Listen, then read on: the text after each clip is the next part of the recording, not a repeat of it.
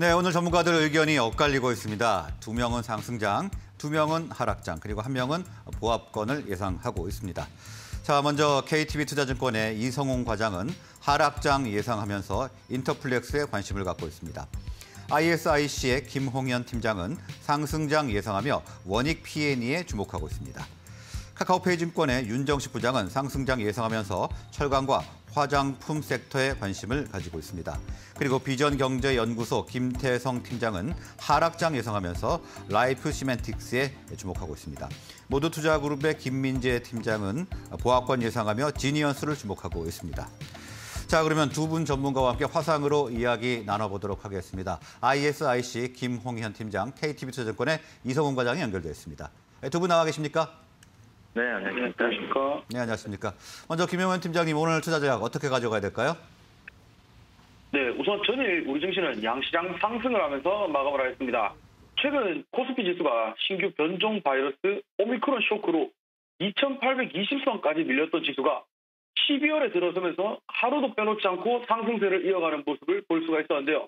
자, 우선 미국의 화이자 백신이 대차례 접종 시 오미크론 바이러스에 효과가 있다는 소식과 미국의 비어 바이오 테크놀로지와 공동 개발한 코로나 치료제 소트로비맙이 오미크론에 효과가 효과가 있을 것으로 보인다는 연구 결과가 나오면서 오미크론 우려가 많이 완화된 모습을 볼 수가 있었습니다.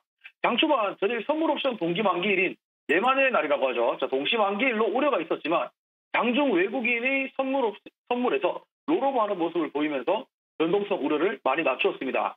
또한 미국의 연준위원회에서 내파적 성향 강세에 따라서 단기 조정 가능성 또한 염두를 하고 있는 모습을 볼 수가 있었고 그리고 아직까지 중국의 헝다 디폴트 우려가 남아있고 코로나 확진자 수와 중증 환자 수가 연일 최대치를 기록하면서 우리 시장 크게는 상승을 하지 못하였습니다. 저희 술국을 살펴본다면 기관이 홀로 순매수를 하였고 개인과 외국인은 순매도를 하였습니다. 아직까지 반도체 관련 업종들이 좋은 모습을 보여주고 있, 었습니다 이렇게 오미크론에 대한 우려가 줄어들면서 저점을 찍고 반등을 보여주는 지금의 상황에서는 주목받는 업종별로 분석을 한 뒤 신중한 투자를 해야 되지 않나라고 생각을 해봤습니다. 네, 오미크론 우려가 완화되면서 지수가 반등을 하고 있다 이렇게 분석을 해주셨고요. 다음은 에, 이성훈 과장님 어떤 전략 네. 가져가야 될까요? 어, 우선 뭐 미국 증시도 좀 떨어졌고 어, 어느 정도 그 하락 출발할 것으로 좀 예상이 되고 있습니다.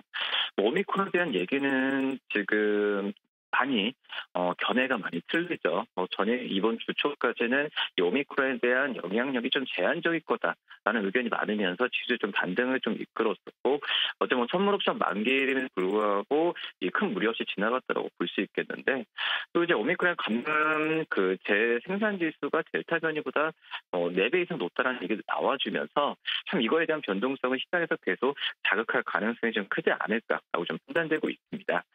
어, 우선 외국인들의 매수 기조는 좋긴 하지만 어, 저는 오히려 오늘은 좀 하락해서 출발을 했을 때는 뭐 종목들에 대한 매수 관점을 저가에서 사는 관점도 괜찮다라고 좀 판단이 되고 있고요.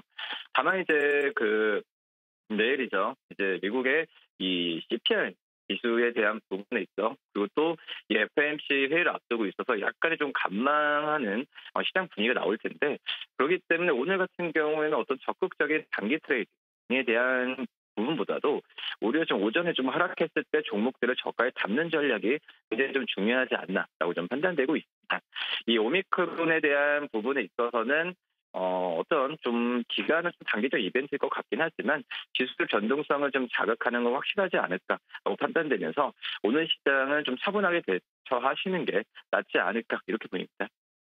예, 미국이 소비자 물가지수 발표를 앞두고 좀 관망세를 보일 것으로 예상되기 때문에 차분한 대응이 필요할 것이다 이렇게 말씀을 해주셨습니다. 다음은 관심 종목으로 넘어가 보도록 하겠습니다. 김홍현 팀장님, 오늘 어떤 종목 준비하셨습니까? 네, 제가 이번에 관심 있게 보고 있는 테마는 전기차 충전소 관련주입니다. 자, 요즘 주요 글로벌 자동차 기업인 포드, GM, 폭스바겐 등등 여러 기업들이 10년 내에 획기적인 전기차 전환을 이루겠다는 전략을 발표를 많이 했는데요. 자, 또한 거리를 나가도 요즘은 전기차가 많이 눈에 띄는데 대체적으로 테슬라나 현대차, 기아차의 대표적인 전기차 모델도 흔하게 볼 수가 있습니다. 전기차는 내연기관차처럼 기름으로 달리는 차가 아닌 충전식, 쉽게 말해서 전기를 충전해서 원료로 달리는 자동차입니다.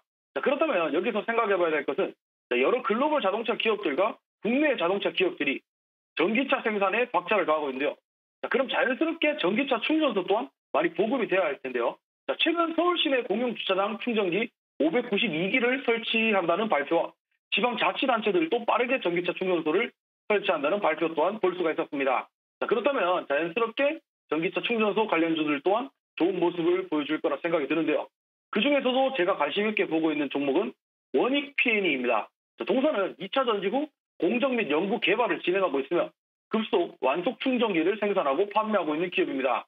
자, 그리고 최근 동사는 2차 전지 조립 디게싱 공장 정비 전문 업체인 NS를 인수했는데 우선 배터리 전지 내에 축적되는 가스 배출이 잘 돼야 폭발 가능성이 낮아지는데 이 가스 배출 과정을 공정하는 NS의 인수로 인해 국내뿐만 아니라 해외 매출까지 한번 기대를 해볼 수가 있는데요.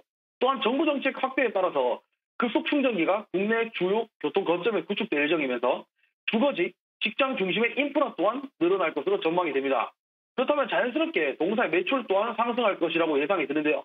이런 식으로 국내뿐만 아니라 글로벌 매출까지 기대할 수 있고 정부의 주요 교통 거점 전기차 충전소를 구축할 거라는 예정이 나온 지금의 상황에서는 2022년 이후에 동사의 매출을 한번 지켜봐야 될 중요한 포인트라고 한번 생각을 해봤습니다.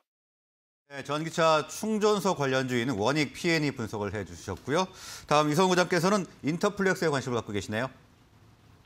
네, 뭐 인터플렉스 아시다시피 그 PCB 또 이제 PCB 연성 PCB를 만드는 기업이라고 볼 수 있겠는데요.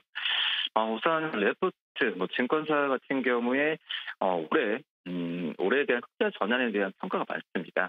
특히 이제 그 4분기 실적에 대한 영업이익은 기존의 그 전망치죠. 한 40억대 초반에서 지금 100억 가까이 좀 올리고 있는 상황이라고 볼 수 있겠고요.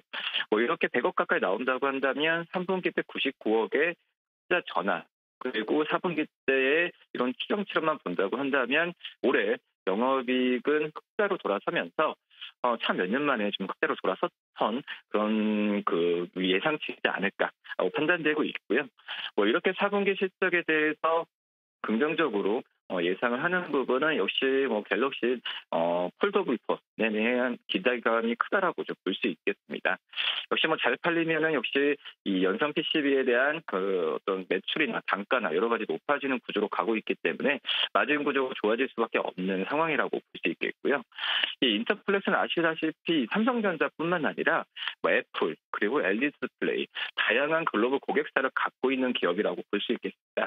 뭐 우리나라 최초로 어떤 광 PCB를 만든 기업 기업인 걸 본다고 한다면 음, 몇 년 전까지만 해도 인터플렉스에 대한 관심이 굉장히 높았다가 뭐 원가나 여러 가지 면에서 적자 구조 때문에 어, 시장에서 약간 소외됐던 감이 있었는데 이번에 실적에 대한 기대감을 모아지는 현재 분위기로 봤을 때는 어, 우선 인터플렉스에 대한 그 저가 매수 관점을 좀 가져가도 괜찮지 않을까라고 좀 생각이 되고 있고요. 지금 현재 뭐 PCB 업체들 같은 경우에는 음, 약간의 좀 슬림화가 이루어지는 상태라고 볼 수 있겠고, 뭐 삼성전기, 삼성전기가 이 PCB 쪽에서의 사업에 대한 부분에 철수에 대한 얘기가 들려주면서 어, 향후에 또 내년 같은 경우에는 이 PCB 업체들 같은 PCB 업체들의 어떤 그 슬림화 가 될 가능성이 크다라고 좀 판단되고 있습니다. 역시 그렇게 된다고 한다면 인터플렉스 같은 경우에는 이 반사이익을 누릴 가능성이 좀 크다라고 좀 볼 수 있겠고요. 어, 우선 PCB 쪽, 특히 이제 연성 PC 여러 PCB 종류가 많다라고 볼 수 있겠는데 이 연성 PCB 쪽에서는 인터플렉스에 대한 시장 점유율이 올라갈 가능성이 굉장히 좀 크지 않나라고 좀 판단이 됩니다. 또 글로벌적으로 봤을 때도 이 글로벌적으로 봤을 때도 이 폴더블 폰이나 여러 가지 그 전에 스마트폰의 성장이 좀 정체되어 있을 때 이 폴더블 폰이나 이 Z Flip에 대한 부분에 있어서 성장률을 그 전에 일반 스마트폰의 성장률을 좀 따라잡는 부분이기 때문에 특히 이제 뭐 폴더블 폰 같은 경우에는 어, 그 연성 PCB, PCB에 대한 어, 수요가 어, 높아질 수밖에 없는 구조이기 때문에 이 PCB 쪽에서의 산업 에 대한 부분에 있어서는 어, 다시 한번 이제 레이팅이 좀 필요하지 않나라고 좀 판단이 되고 있습니다. 지금 이제 증권사 같은 경우에는 인터플렉스의 목표 주가를 17,000원 이상을 좀 잡고 있는 현재 상황이라고 좀 볼 수 있겠는데 이 17,000원 같은 경우에는 역시 내년에 이 뭐 흑자 구조에서 어, 글로벌 PL을 할수 있는 뭐이 22배를 뭐 주는 가격이라고 좀 볼 수 있겠는데요. 충분히 이 가격은 무리가 없지 않나라고 좀 판단이 되고 있고, 어, 인터플래스의 향후 뭐 애플 쪽에서도 어떤 폴더폰이나 여러 가지 출시에 대한 기대감이 있다고 한다면 인터플래스의 연, 이 연성, 이 PCB에 대한 수요는 글로벌적으로 늘어날 가능성이 굉장히 좀 크지 않나라고 좀 판단이 됩니다. 어, 주가가 답보 상태에 좀 반등을 좀 줬었는데 이 반등 주는 자리에서 좀 매수 관점으로 어, 접근해도 괜찮지 않을까라고 좀 판단이 되고 있고요. 이 스마트폰 부품주들 같은 경우에는 항상 연말보다는 연초에 어, 어, 연초에 어떤 매수세나 이런 좀 시장들 강한 모습 보여주고 있습니다. 뭐 그렇기 때문에 이 연말에 어떤 적극적인 매수보다도 이 내년을 대비 내년 연초를 대비해서 연말에 이 종목들을 음 골라서 매수하는 전략이 좀 필요하지 않을까라고 판단되고 있고요. 뭐 PCB 외에 어, 또 스마트폰 부품주들 같은 경우에는 뭐 힌지나 여러 가지 만드는 그런 특수한 제품들을 만드는 기업들 굉장히 많습니다. 뭐 파인테크닉스 뭐 이런 기업들 같은 경우도 관심 있게 봐도 괜찮지 않을까라고 좀 판단되고 있고요. 또 이제 뭐 통신기기나 봤을 때도 이 5G에 대한 보급률이 많이 올라갔다고 하더라도 아직까지 글로벌적으로 봤을 때는 이 5G에 대한 수요 부분은 어, 우리나라보다는 좀 뒤처지기 때문에 이 글로벌적인 5G에 대한 수요를 대비해서도 이 5G 관련 중장비 업, 그 기기 업체들 같은 경우에도 충분히 어, 또 다시 한번 좀 볼 봐야 되지 않을까라고 좀 판단되고 있습니다. 네, 이성 과장님, 삼성과 애플 등 다양한 고객사를 가지고 있는 인터플렉스 분석을 해주셨습니다. 오늘 말씀은 여기까지 듣겠습니다. 감사합니다. 감사합니다.